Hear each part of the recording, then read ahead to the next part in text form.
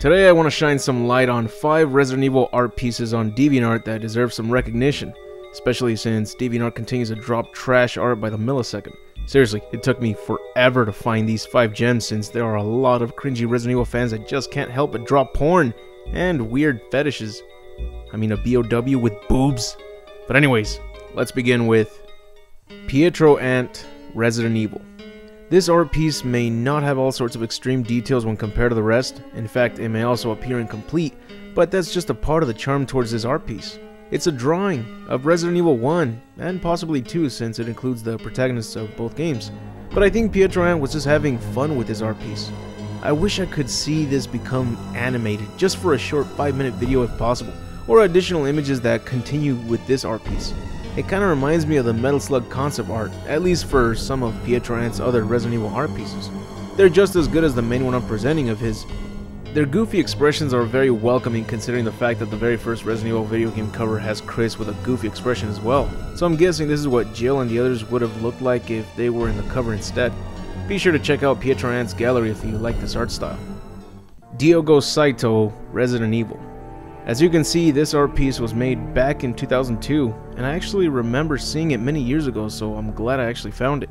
Just like Pietro Ant's art piece, this one doesn't have as much details when compared to the rest on this video, but like every good art piece, there's a lot of passion put into this, and it's a good representation of how terrifying it was to venture through the Spencer Mansion the first time we ever played the game, whether it was the original or remake. The only thing that shouldn't have been included was that badass looking liquor. It belongs in Resident Evil 2, but my guess is that Diogo Saito was also a fan of liquor, so he said, fuck it, it's his art, his rules. Plus, it only intensifies the situation that Chris is in. Sarrus, Resident Evil. This art piece is full of surprises. You got Chris, Jill, Rebecca, Barry, the Tyrant, the first zombie you encounter, a couple crows and Cerberus, including a BOW hunter and zombified Forest Speyer. But most importantly, you got the Spencer Mansion in the back. I like how it's shown in a view where it's almost like you're at the front entrance looking up. The light shining from Rebecca's flashlight is very impressive. The glare, the color, it makes you believe that light is really glowing from that area of the picture. Also, each character is holding onto their iconic weapon in the game, and as for Wesker, he appears to be monitoring his STARS guinea pigs like in that intro to the Biohazard Pachislot game. Very well done, Sarrus. Make sure to check out his gallery as well. Lewis Coraline, Resident Evil Retro Poster. Here's an art piece no one can complain about. A retro poster of the first Resident Evil game. Even the text and title looks perfect. Jill is holding onto what appears to be a forest axe, but even though she doesn't use one in the game, I can see it being used in a movie adaptation of the game. The first zombie you encounter makes an appearance in the picture as well. It looks even creepier in this design, similar to the illustrations from Stephen Gemmell. The Spencer Mansion looks quite spooky, a little different, but nonetheless still spooky. And seeing it combined with the zombie's head with these twisted roots is so eerie and bizarre. I'd love to see what Lewis Coraline could do for the next two sequels. Message him about it if you too would gladly welcome another fantastic retro poster, only this time on Resident Evil 2 and 3. Chaos Draco, Biohazard, The Beginning.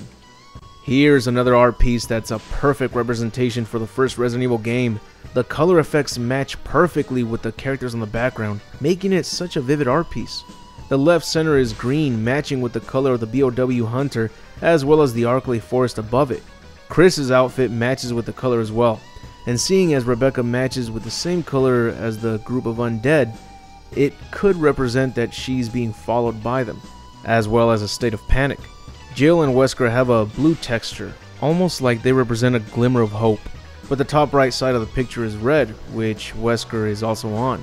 This could represent his dark intentions while appearing on the good side.